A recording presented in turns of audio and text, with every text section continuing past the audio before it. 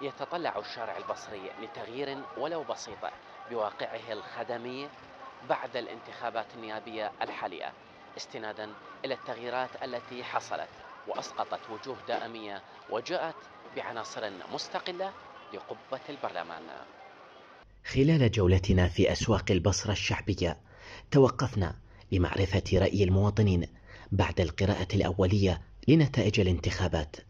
أبو علي غلب التشاؤم على حديثه وكأنه يوجز ليقول من عجزوا عن التغيير لعقدين كيف سيغيرون الوضع الآن؟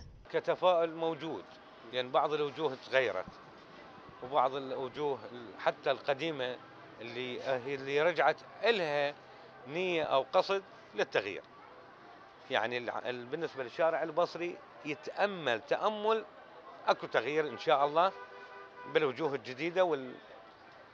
والنتائج الجديدة توجه شعبي يرفض نظام الانتخابات برمته فهنالك من يفضل الانتخابات الرئاسية على النظام البرلماني الحالي كحل جذري يكبح ما تبقى من تركات الأحزاب المهيمنة طيلة الدورات الانتخابية السابقة. والله مو ذاك التغيير يعني مو ذاك التغيير يعني ذاك التغيير. الشعب يطمح الأزيد بعد. أزيد. أزيد يطلع يطمح يعني. الحل أنا أقول لك شغلة واحدة بس تبقى هي. الأحزاب كلها تنتهي. ما غير الرئاسي ما يصير.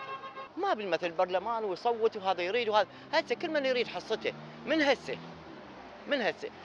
نقطة تحول ينتظرها البصريون من حكومتهم المحلية باستكمال المشاريع الخدمية خصوصا تلك التي تنفذ في المناطق الشعبية لتستعيد ثقة أبناء المحافظة بها. وبالسلطات التنفيذية والتشريعية من البصرة أركان تقي قناة التغيير.